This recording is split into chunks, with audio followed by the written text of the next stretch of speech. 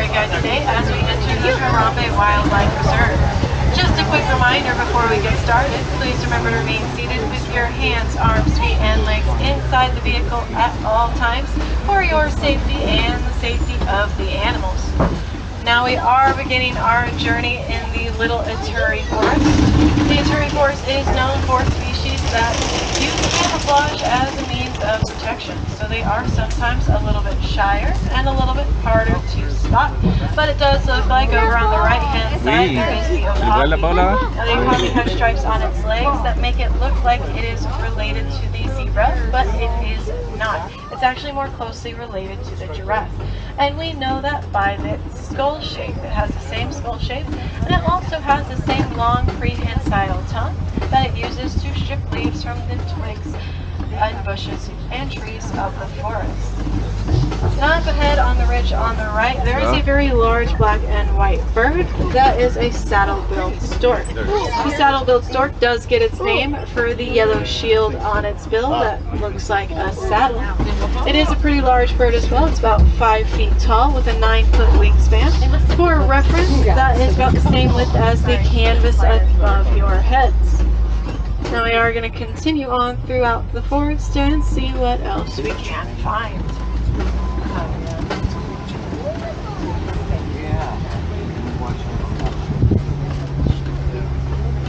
Now over here on the left Good, that's all, hand eh? side, there is a bongo. Bongos are nicknamed the ghosts of the forest because they're pretty shy and reclusive and they are excellent hiders. When they don't want to be seen, you will not be able to see them. Now we are going to continue on, though that bongo that does mean that we are exiting the forest and we're headed up and along the Safi River. Now Safi River is a watering hole and it does act as a gathering place for some of the more aquatic species here on the reserve. So as we're traveling upstream, over on the right hand side, there are two species. The first is the ulang. pelicans. They are the large white birds. They do get their name for a pink color they turn during their mating season, which happens around the springtime. And then right next to them, hanging out, are the Nile Oh. hippopotamus. So. Nile hippos are quite large, and they're usually aquatic. They're usually hanging out like the ones over here on the left-hand side are in the water because they're very sensitive to the heat. They don't have great heat resistance, so they will in fact stay as submerged as possible most of the time. They will hold their breath for up to eight minutes, and then when they do come up for air, their eyes, ears, and nose all sit on the top of their skull, which means they can just poke those features out of the water, get a big breath, take a quick look around, and then sink back down. They also don't swim, even though they are pretty aquatic. Instead, they will sink all the way to the bottom of the river floor, and they will walk across it. Kaste bu. Now over here on the left-hand side, there is ah. another species that calls the river home. Go That crocodile. species is the Nile crocodile. Nile crocodile are also quite large. They are 16 feet in length and 500 pounds when they are fully grown. Wow. They might notice they're not moving too much, and that's because they are feeding on water. So they. They only eat about once a week as well, and that is because in a single meal they do eat up to half of their body weight. So a lot of food being consumed at one time. Now we are continuing on. We are headed away from the river, which does mean that we are headed towards a change in scenery because we are about to enter the open plains of the African savanna. Now the African savanna is home to some of the more famous species you might recognize like the giraffe, elephant, and the lion. Oh, what hindi yun? So hopefully we will see a few of those familiar faces as we travel through today. We are currently passing through Savannah Overlook, which gets its name because as we travel down, you can look out and over and see the entire open plains portion of the Savannah. And spot a Yeah. few of the species we oh, will be Yeah, giraffe. our journey. Oh my god, look. Oh, they're going to be on your side, the giraffes. Iba't mo ba akit na? Iba't mo It does look like just as we're entering, there are a few species here to greet us. Over here on the right hand side, there is Ankole Oui, cattle. gars, talaga. Ankole cattle are also called Watusi cattle for the people who first domesticated them.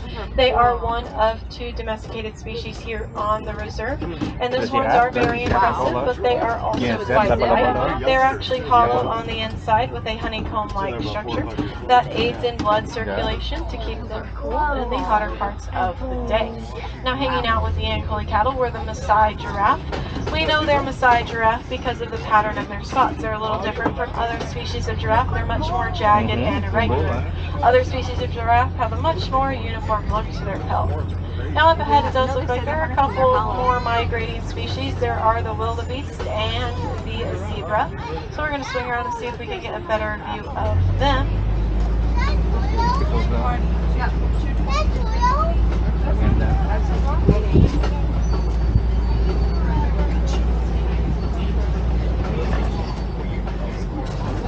we do though, there is a species here on the left hand side. They're laying down, they're a little harder to see, but they're behind the cave on the right. Those are painted dogs.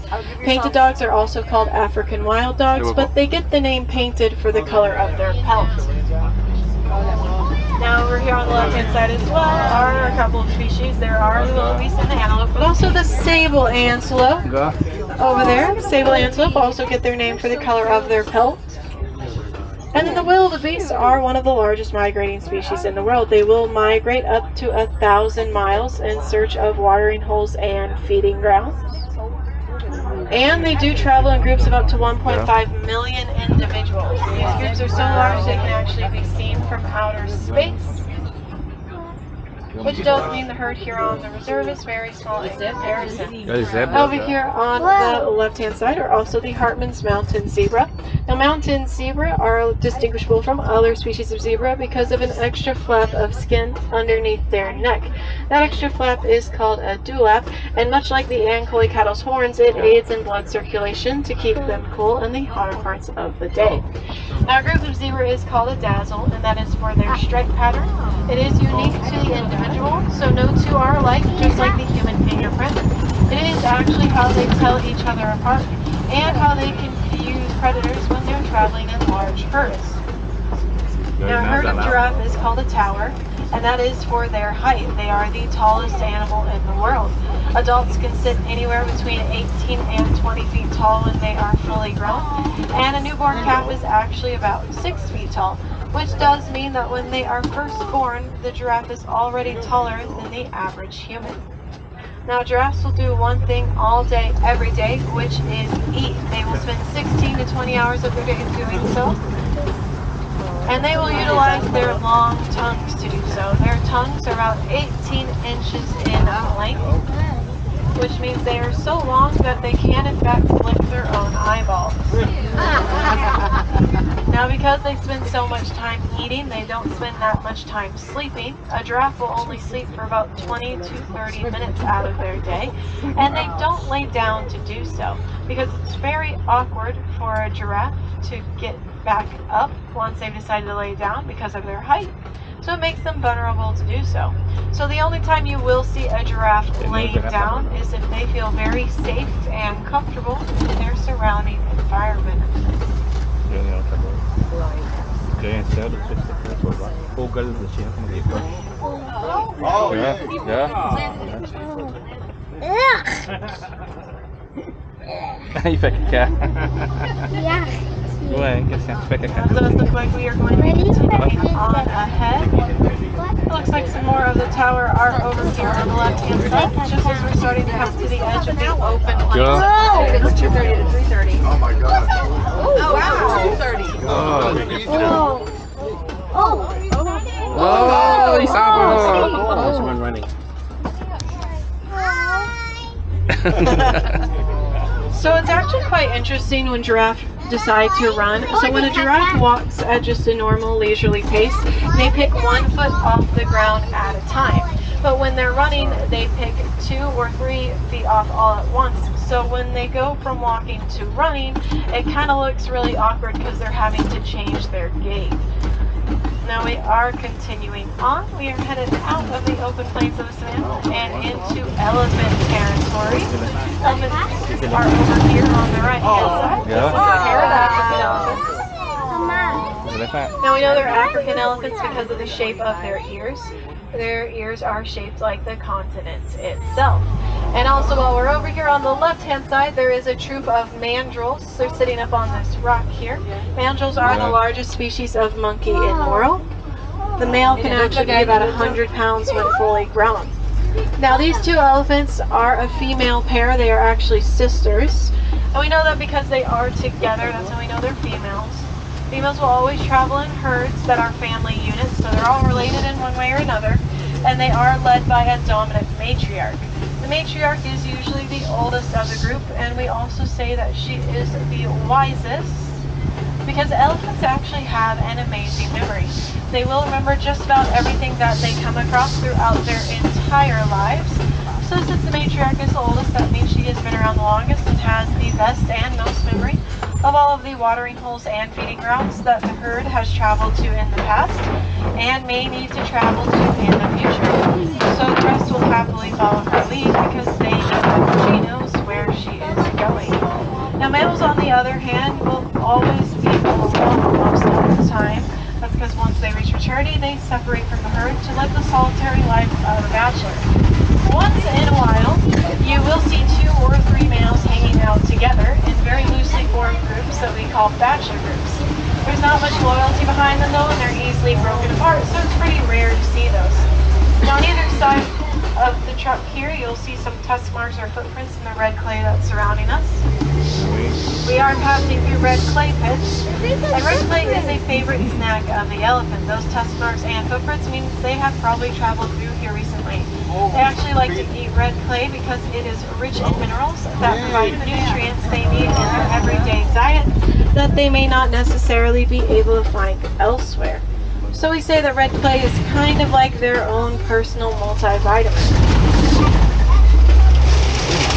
Now we are going to continue on. That looks like over here on the left hand side there is oh. another elephant. You'll notice that this elephant is throwing mud across its back and the rest of its body.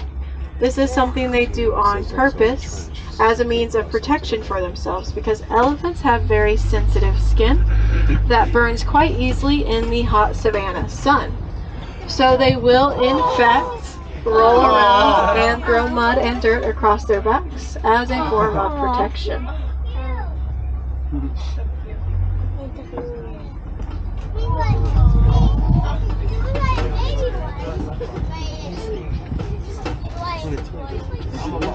Look.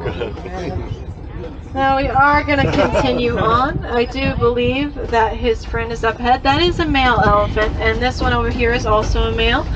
These are part of a bachelor herd, like I was saying. They're kind of like brothers.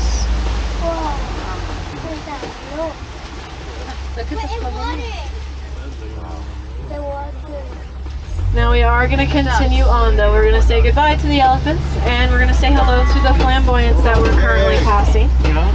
Uh, flamboyants is what we call a group of flamingo because of their coloration. They are pink. Now these are greater flamingo. They are the lightest of pink and the largest of the flamingo species.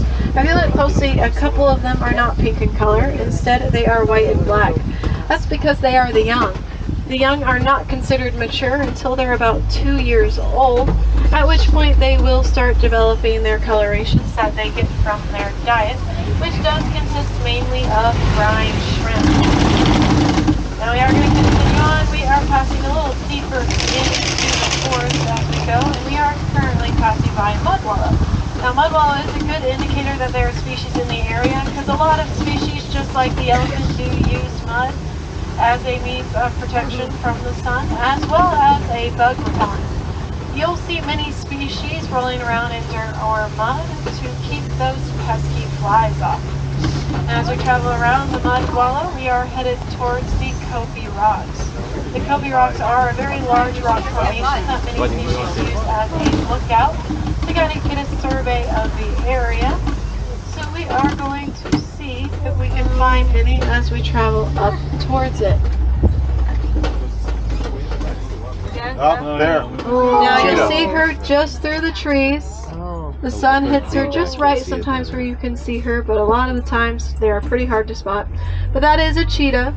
Cheetah are the fastest land animal in the world. They can actually get up to about 70 miles per hour in three seconds. So very fast.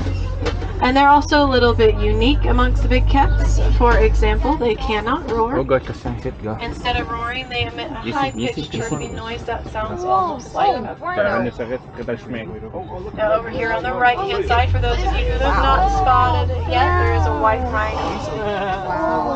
White rhino are quite large, about 5,000 pounds when they are fully grown. There are a couple more cheetah up here as well. Those didn't see the first one. Now, rhino do get their name from the Afrikaans word vice, which means wide, not white. It's for that upper lip of theirs. There was a little bit of a mistranslation when it was being brought over to English, though, which is how they ended up being called the white rhino. Now we are going to continue on. We're going to see what else we can find. It does look like there are a couple more of those rhino up ahead over on the right-hand side, so we're going to swing around and get a better view of them. Now, white rhino are also pretty social, so they will travel in large herds called crashes. And they are called crashes because they have poor eyesight. So they don't see very well. Instead, they do utilize their sense of hearing to figure out what's going on around them. Now over here on the left-hand side, right next to the truck on the ground here is an ostrich. Oh, how you doing? Ostriches are the largest species of bird in the world. They sit between six and nine feet tall and they are fully round. That one is a female, and we know that because of the coloration of her feathers.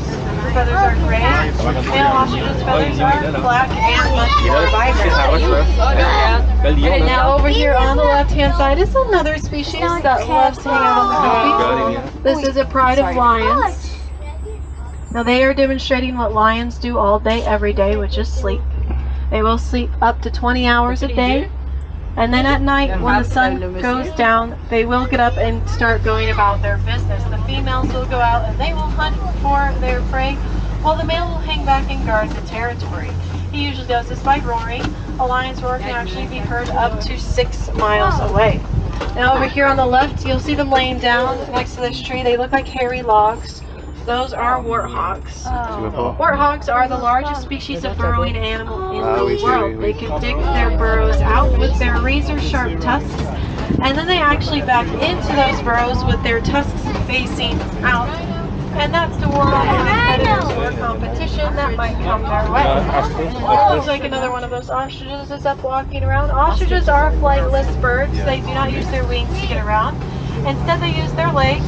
They're very powerful. They can actually run at about 40 miles per hour. Now we are continuing on. We're going to start heading out of the forest of the savannah and we're headed into Magadi Glen. So Magadi Glen is where our warden's post is. And our warden has been keeping some Nigerian dwarf goats recently. So we're going to see if we can find them as we travel through. Nigerian dwarf goats are a very small species of goats that are very and very easy to upkeep. They don't take up too much ito room. And they do provide a rich milk that the sell for a Jeep. profit. It's a very useful livestock animal. Looks like they have decided to sit on the jeep. Now something else that the farmers use is the yellow structure in the middle of the yard. That will be turned into a beehive and it will be utilized in a beehive fence. The beehive fence was first created because not long ago in Africa there was actually conflict between the farmers and the elephants because the farmers were laying down their croplands in the middle of elephant migration paths. Now elephants, like I said, have an amazing memory, so they remembered these pathways to be where they needed to travel, and they weren't going to change them, so they'd end up walking right through those croplands, raiding them and destroying them. Well, this upset the farmers, so they reached out for help across the world to a couple different organizations. Here in Harambe, we were one of those organizations because at the time we were actually studying the elephants, and more specifically, we were studying their vocalization patterns.